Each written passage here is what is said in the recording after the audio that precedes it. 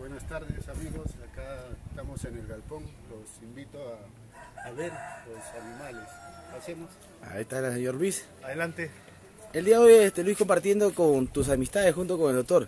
Mi invitación que usted nos está haciendo es la primera vez pasar a un criador de la baja como señor padre. El gal- estamos hablando del galpón Luis García. Correcto. Nosotros ya tenemos varios años criando gallos. Estamos acá en Charlacayo ya cerca de 10 años y bueno, para contestar las preguntas que ustedes deseen, adelante. Muy agradecido.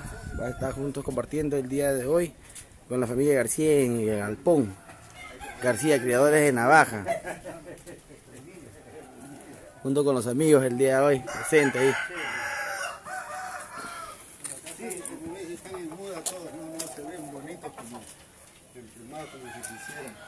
Señor García, cuéntenos cómo así le nace esta linda afición de la crianza de los gallos navajeros, este, este gran gallo emblema para todos los peruanos. Bueno, esto por una, por una casualidad. Un amigo, eh, un vecino mío me invita a Sandy Antigua a una pelea de gallos y me presenta a Alfonso Flores, el hermano de Paloma, el papá de Freddy Flores.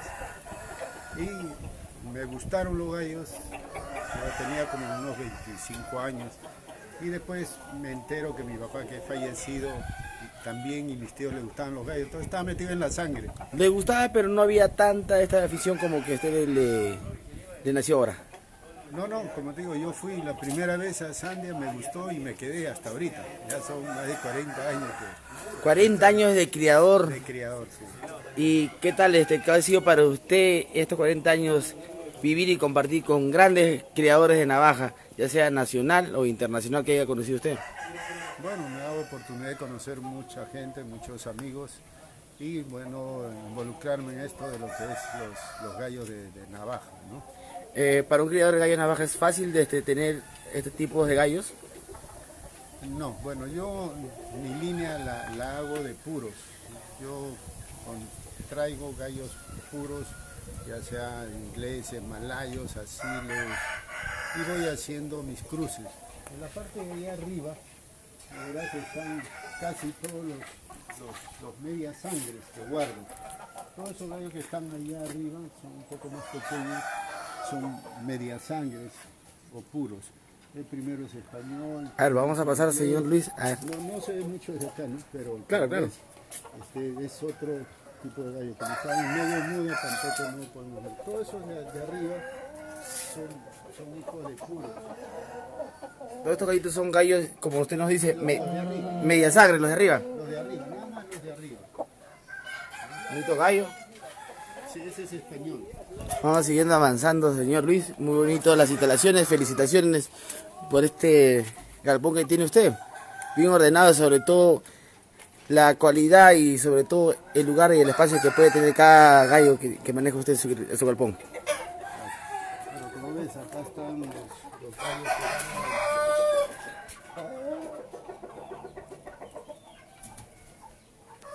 Voy a tener bien bonito.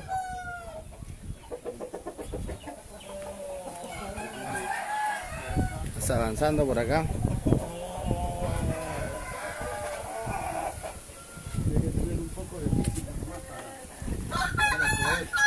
Bien bonito, hemos a una parte, estamos ahora en el segundo nivel. Así es. Estamos, puedes ver acá los. Todos son pollones para jugar este año. Estos son pollos que van, nuevos que van a salir este año a, a competir. Claro, recién este año van a competir. Todos.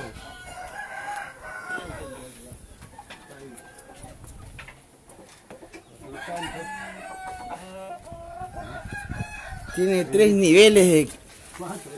este es el tercer nivel ahorita que estamos pasando.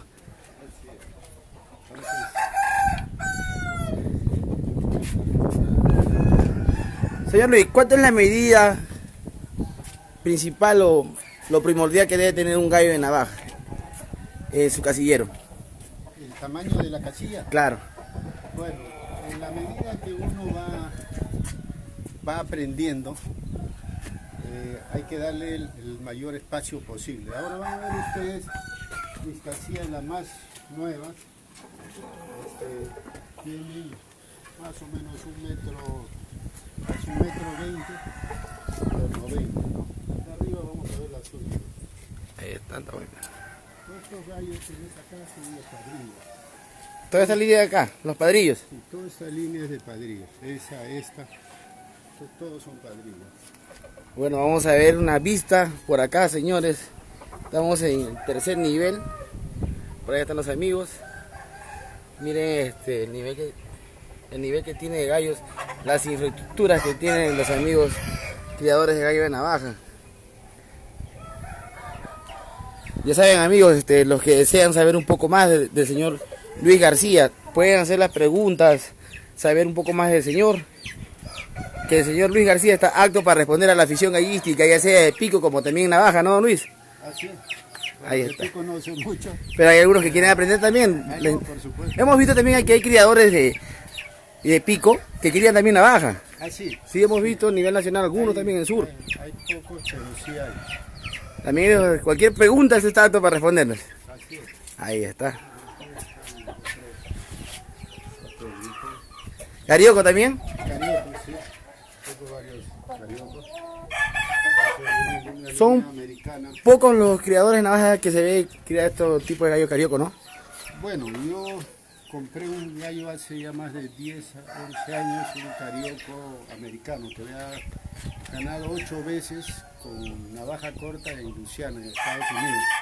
Me gustó, era giro, me gustó mucho por, por el carácter. Es un gallito como hiperactivo, siempre estaba contento, alegre. Entonces le metí a mi línea, eh, parece que tenía algo de asil, era un cabeza de coco, giro.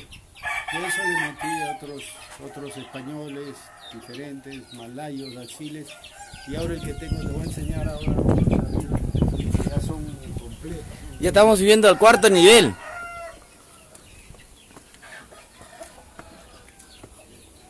Cuarto nivel acá de, Gal- de Galpón del señor Lucho García.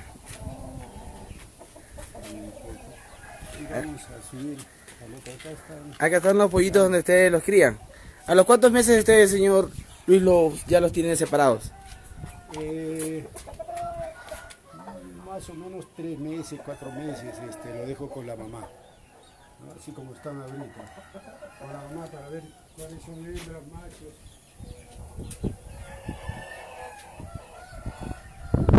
En ese momento que la mamá le pega, entonces ese momento los, Tiene que separar usted de la gallina ya. los separo de la gallina. En este transcurso también voy eliminando, viendo lo que son hembras machos, se va eliminando.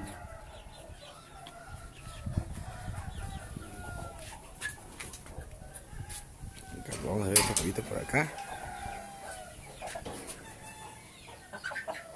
Acá nos pregunta Jonathan Felipe, ¿cuántas aves cree usted acá en el galpón? Al promediar por lo menos porque Más o menos haber unos mil, mil doscientos entre gallos, gallinas, pollos. 1200. Más o menos, calculo. Ustedes lo van a ver ahora. Ahí está, a ver señores. Como les digo, pueden hacer algunas preguntas a nuestro amigo Luis García.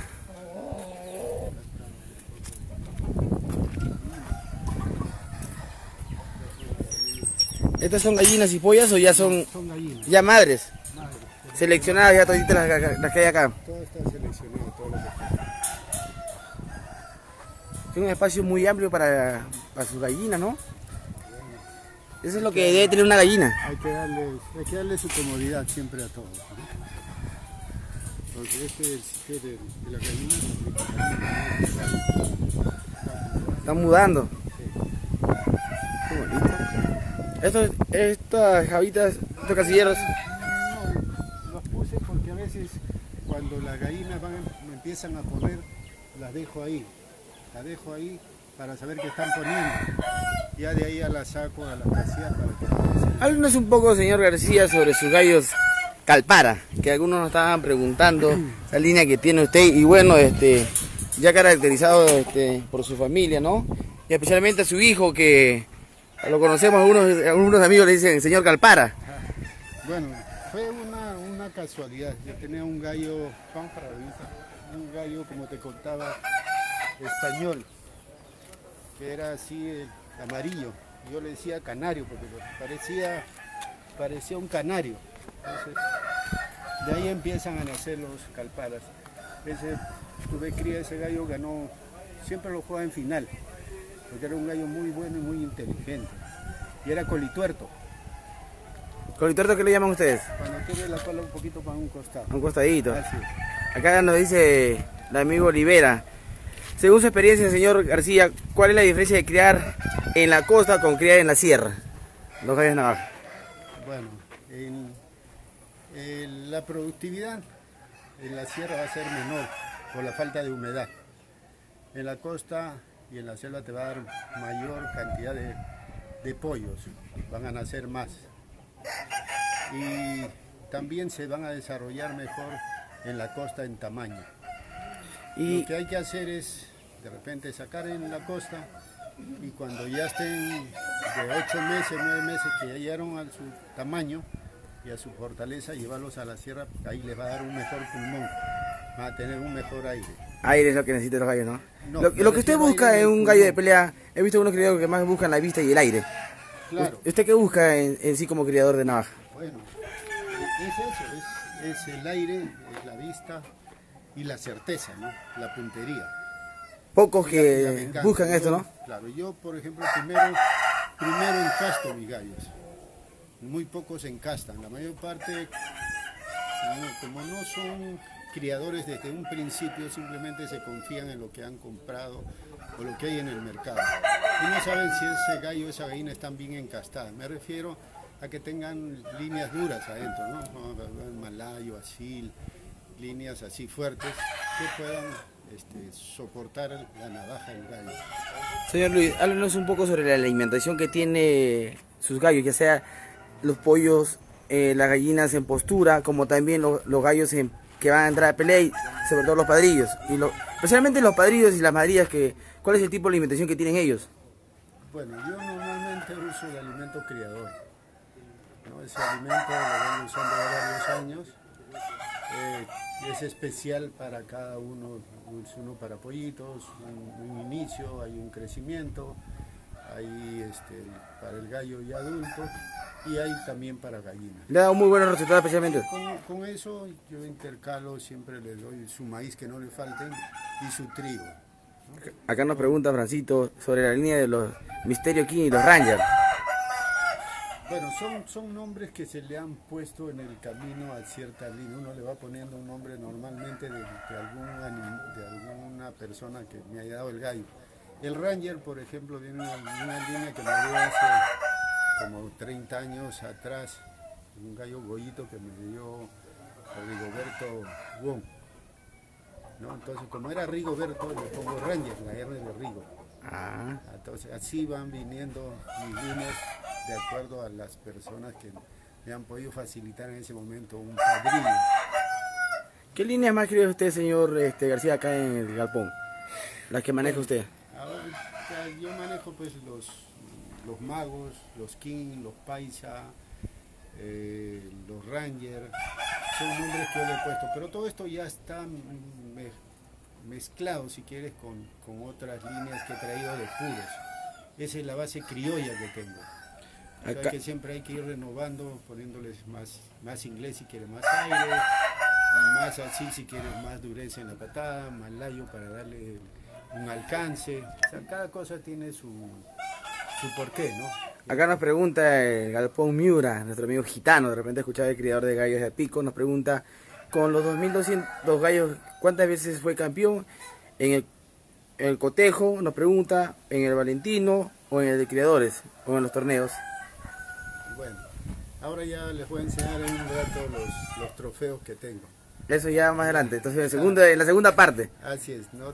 Yo Pero no- sí, yo muy buenos no torneos. trabajo en el Valentino no soy socio, soy ex socio del círculo, pero sí este, este, he jugado en, en casi todos los coliseos, menos en el Valentino que no soy socio. ¿no? Acá nos pregunta, ¿cuál fue la mejor línea que le dio grandes logros?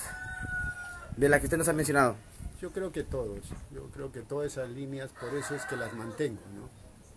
Las líneas que me han dado resultados las mantengo hasta ahora durante 30, 35 años. Bueno, vamos a ir avanzando por ahí. Acabamos de ves. Bien bonito, ¿no? Es una zona especialmente para ellos, este, su... Este es un revolcadero creo que, que los galpones tendrían que ser así. Este es revolcadero, no es un cuarto para descanso, por ahí, su revolcadero especialmente para ellos. Claro. Acá está la casilla, como ves. La nueva casilla que usted... Así es. Este, este es lo último que es. Me parece que esto es lo que tiene que hacer. Aquí está la casilla y aquí está el revolcadero. Entonces lo vas intercambiando. El gallo para que se suelte un poco más. Aquí se va soltando, está encasillado, viene acá, se va soltando. Acá una pregunta, hay muchos que, que, lo siguen mucho usted. Los paisas dieron y siguen dando muy buenos resultados, al, al, igual que los magos. Así es, así es. Son dos líneas muy, muy buenas y muy certeras. ¿Los paisas y los magos vienen, tienen un color específico que se sí, llega a diferenciar? El, el, mago, el mago es prieto, es un gallo inglés, viene, viene de una línea inglesa antigua. Y el paisa es un gallo dorado de una línea de graña antigua. Cuando nos preguntan, ¿por qué no usan los gallos navaja, los de navaja como los piqueros de repente? Ahorita vamos, vamos, a ir avanzando y nos va a responder el señor García. Bueno, este, yo no, no sé por qué más bien usan ustedes lo de pico, ¿no? Porque me imagino que es para darle un poco más de dureza a la carne, para bajarle el peso. Pero con el arma que nosotros tenemos, que es una navaja, el tuzarlo sería darle una ventaja al arma para que corte más. La pluma por lo menos lo, va a ayudar o la va a defender en algo de los cortes. Es por la diferencia del arma. Ah, por la diferencia del arma. Para mí. Ah, ya. Entonces, ¿este gallino es americano, inglés? Bueno, este hace yo del Mundial de República Dominicana, fue campeón mundial, este, un chileno, ¿cómo se llama? Me acuerdo ahorita su apellido. Me vendió un gallito que se llamaba Maestrito, que era un gallo gallina igualito a este, solo que más chiquito. Era idéntico. Este, es, este es, ha regresado al, al puro, bueno, el que, me, el que le compré, ¿no? El señor este.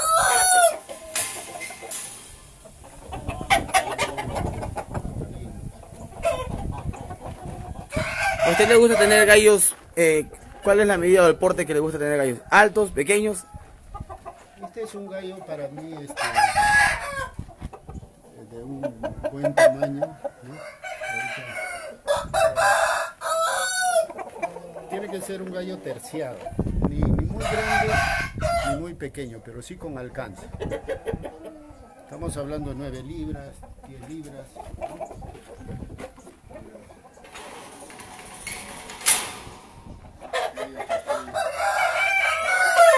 Alcanzado, ¿no? Que tenga buen alcance, que, que no sea muy, muy fuerte. Porque para transportarlos, para prepararlos, es un poco más incómodo, más fastidioso. Este es un gallo fuerte, ejemplo. Un gallo más grande que lo estamos viendo, ¿no? Claro, este es, este es el fuerte. A mí me gusta así. Vean ese tipo de gallo, señores. Más fuerte como le gusta al señor García. Ese tiene malayo. Malayo. Tiene malayo. Tiene malayo. Tiene malayo. Tiene así. Señor García, ¿usted ha llegado a participar de repente en campeonatos por, por Arequipa? Sí. ¿Por el Valle de Majes? Eh, más que todo el mismo Arequipa y en Camaná. Camaná, ¿cuándo fue su última vez que llegó a participar? Hace, muchos años este, que estuve por Camaná, con los hermanos de Rigoberto Bona, un señor que me invitaron por allá. ¿Rubén? ¿Ricardo Bon? Ricardo. Ricardo Bon. Este gallito es más pequeño, ¿no? Ese es un, un gallo de, de buen tamaño. Está bien alcanzado, debe pesar unas, calculo unas 9 libras, 9 y medio. Acá vemos también otro carioco. Este también es gallo y apoyo peleado. No, todos estos son pollones. Pollones. Todos son pollones. Pero algunos se sorprenden de repente cuando ven en el redondel soltar un carioco. Sí, claro que sí. Mucha gente dice que. Como la chusco, ¿no? Algunos dicen eso. Claro, muchos dicen chusco, pero no, estos son. Unos dicen que son. que es el gen así de un gallo que hicieron algunos americanos, especialmente para pico, para que no lo estén tuzando y para que soporte más el calor. Eso es lo que dicen. Ya. Como uno de nuestros amigos, de nuestros criadores de pico piden tu sal, entonces ya viene tu sal por naturaleza. ya viene tu sal, sí.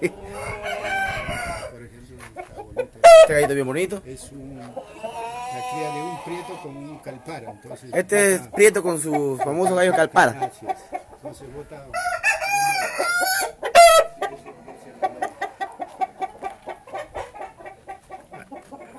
Estas son las instalaciones, señores. Pollos que van a salir este año al redondel a participar el señor García. Ahorita nos vamos a ir también por otra zona. Otro piso más, como dice. Estamos ahorita en... ¿En qué piso estamos, señor García? estamos en el quinto. ¿Cuántos pisos tenemos? Uh, faltan dos más, señores. Faltan dos más. Mire, vean cómo se llama este. Vean la imagen de acá. Estamos en el quinto piso, cuarto, tercero, por allá. Por ahí está el doctor Gerardo, con los amigos y eh, su hijo Lucho, compartiendo y sabiendo poco más esta crianza. También vemos el equipo de trabajo que tiene el señor García. Están haciendo limpieza de las casillas y dañando los gallos. Justo nos hablaba, nos tocó este tema de la limpieza. A la semana, ¿cuántas veces es este la limpieza que tiene usted o al mes? Bueno, acá se empieza de un lado, se termina y se empieza de nuevo al otro. Puede durar 15 días ese, para volverlo a limpiar 15, 20 días. Depende cómo... Señor García, ¿y el, el- el equipo de trabajo que usted maneja? ¿Cuánto es el equipo de maneja que, que tra- eh, trabajadores que tiene usted? Normalmente ¿Tres? tres, normalmente, pero hoy día, por ejemplo, me envié un, dos o tres amigos más a darme una manita. Hasta termina así bien co- este, colado, ¿no? Como lo dicen. Todo el guano, toditito. Zarandeado. Sí. Y maestro, cuéntenos usted, este, ¿en cuántos días llega a terminar usted de hacer la limpieza de repente por zona? ¿Todos los días se hace limpieza aquí? Acá todos los días. Sí, Para que tenga el gallito Sí. la mejor este, el cuidado que tiene. sí, sí, todos los días se limpia aquí. Ahí está, vemos y te- mira, vemos. Acá comienza un- con uno de los casilleros, como, como lo ven, como le dicen sucio, ¿no? Pero ahí están limpiando y termina de la mejor manera para que el, para que el gallo pase a su nuevo ambiente, ¿no?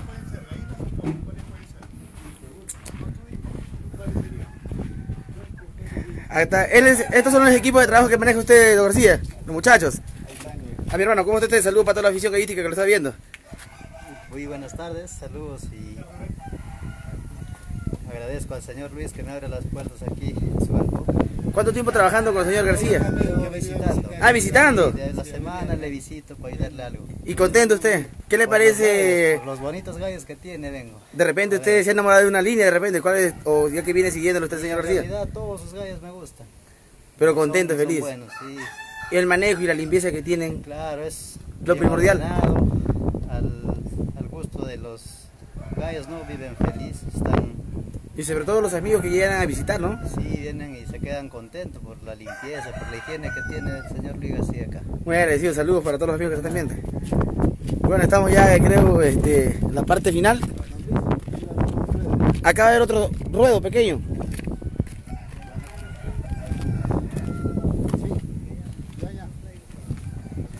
Miren, estamos ya en el séptimo piso. Vean ustedes la enorme vista que ven por acá. Las instalaciones que tiene. Y bueno, continuando esta visita y este recorrido con el señor García. Estamos en esta zona también de pollos.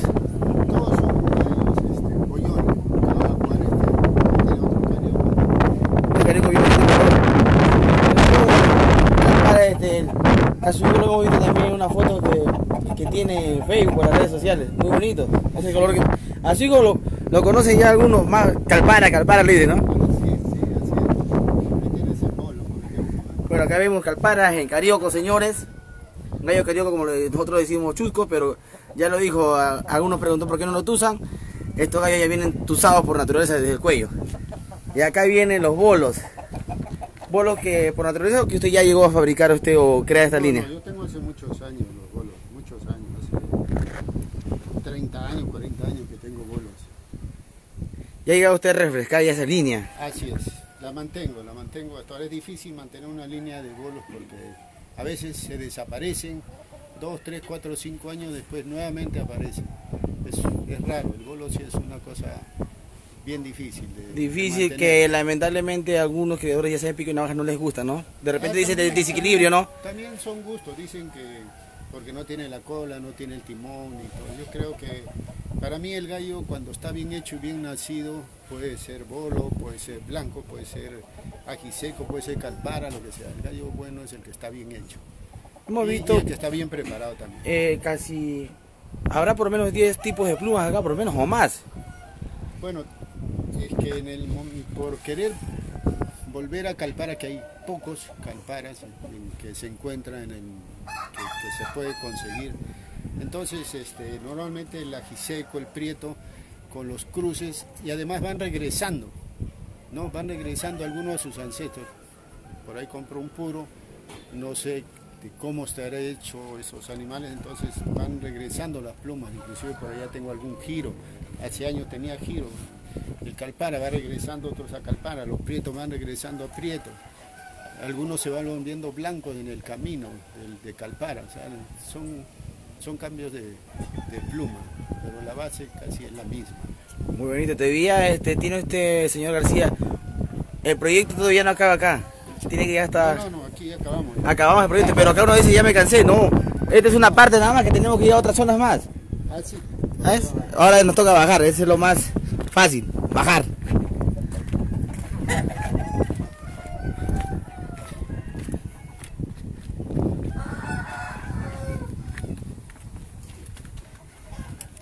El encargado de la preparación, este, de que sus gallos esté bien, este, don García. Bueno, este, la preparación todavía recién. Nuestro, nuestro amigo también por acá, Es un amigo visitantes también, visitante. compartiendo acá con el señor García. Acá seguimos. Bueno, la, la preparación, eh, siempre he tenido una persona que me Bueno, ahorita vamos a tocar el tema de la preparación. Vamos a bajar a otra zona. Así que, ya saben, muchachos, preguntas que quieran hacer, saber un poco más, amigo criador de pico, de nuestros tipos de gallos, ya sea. A ver, acá nos enseña, que nos enseñen unos gallos, don Luis, eh, estos gallitos de repente, para que nos enseñen, muéstrenos. A ver, este carioco, qué hermoso. Sí, lo acaban de bañar ahorita. Acá saliendo. Entonces, ahorita en Calpara también. Calpara también. Ahí están para nuestros amigos que quieran ver estos gallitos. Vean Calpara, carioco ya usado por naturaleza.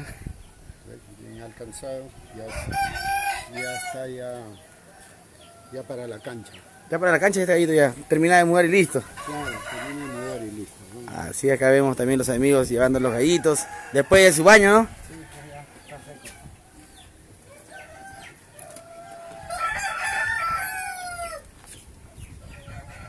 Así es. Vamos avanzando, vamos avanzando.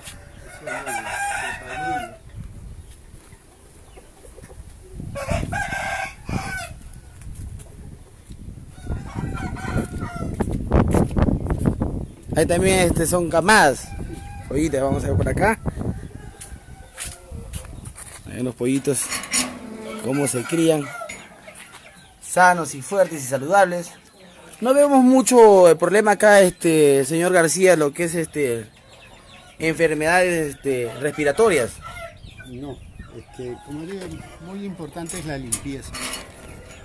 La limpieza te trae sanidad. Eh, cuidado, hay que estar cambiando dos, tres, cuatro veces el agua. eh, hay que sacarles el alimento dos veces por lo menos este, a estos pollos. Entonces, si tú vas a dejar todo el tiempo el agua y ya sea en gallo, o sea en los pollos o en los eso va a traer que se caliente el agua, que fermente alguna cosa y que los animales empiecen con ronquera y con problemas. La recomendación que usted nos puede dar acá, este, a los criadores de navaja, como también de pico, a la semana, ¿cuántas veces nosotros debemos hacer una limpieza, ya sea eh, en sus cuartos, galpones o casilleros, y especialmente en sus comederos? No, los comederos tienen que lavar todos los días. Todos los días. Y los míos todos son de acero, para que vean. o sea, A ver, saca todos son de acero. Entonces el acero no permite que haya ese problema como con el plástico, con las cosas que se oxidan y se malogran. todos son de acero, inoxidable. Entonces eso permite mantener una, una limpieza. Comederos todos los días. La limpieza en un galpón a la semana. Yo calculo que cada 15 días se está, se está zarandeando y cada 6 meses se cambia la arena. Allá. De repente, en algunos casos puede durar un poco más de 6 meses para esperar que termine la muda, porque si no se va a llenar de nuevo de, de plumas. Claro. Porque tú pones, mira, tú- después, mira, los dos días ya está ya de nuevo así. Este es uno de los casilleros que se encuentra ahorita en dos días. Este, vemos la pluma, las heces que tienen y nada. Vamos avanzando por allá. Por ahí vemos al doctor Gerardo conversando. Ahí están los muchachos haciendo su trabajo. Y aquí estamos en un lugar, don, don Luis. Háblenos el método de preparación que tiene acá en el galpón Luis García. Bueno, eh, creo que la preparación no es un misterio para nadie. porque jamás-